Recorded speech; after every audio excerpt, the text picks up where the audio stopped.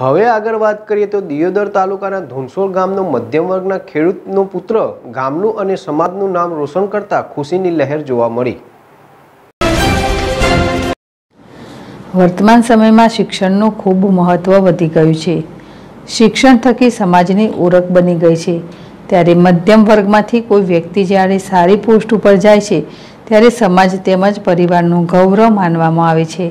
ત્યારે આ જ વાત કરીએ તો સામાન્ય નાના ગામના એક મધ્યમ વર્ગના ખેડૂત પુત્ર જે એમબીબીએસ ડૉક્ટર બન્યો છે. જેનું નામ છે રમેશ ન્યાય, જે એક મધ્યમ વર્ગના પરિવારનો દીકરો છે.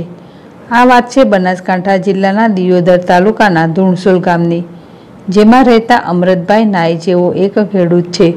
ગુજરાતીમાં એવું સાંભળવા મળે છે કે દીકરો માંગે ત્યારે પિતા ક્યારેય ના પાડી શકતો નથી. ત્યારે નાનપણથી જ રમેશનું સપનું હતું કે ડૉક્ટર બનીશ અને આજે તેઓએ સપનું પૂરું કર્યું.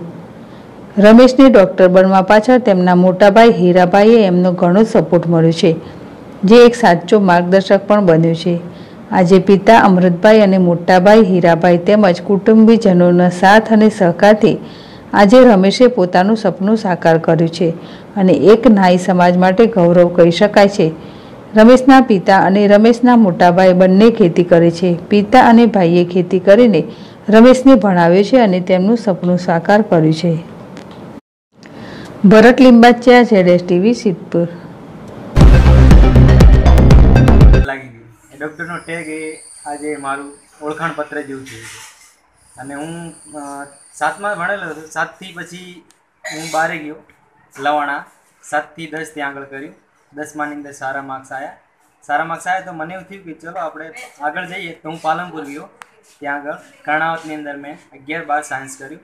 ત્યાં આગળ થયું અને પછી મારું એક સપનું તો પહેલાંથી જ હતું. મારા મમ્મી પપ્પાને મેં કીધેલું જ હતું કે મારે એક ડૉક્ટર બનવાની ઈચ્છા છે. તેમણે મારી ઈચ્છા પૂરી કરી. મારા મોટા ભાઈએ મારા માટે, મારા પપ્પાએ બહુ મહેનત કરી. એમની ઈચ્છા જ હતી કે મારો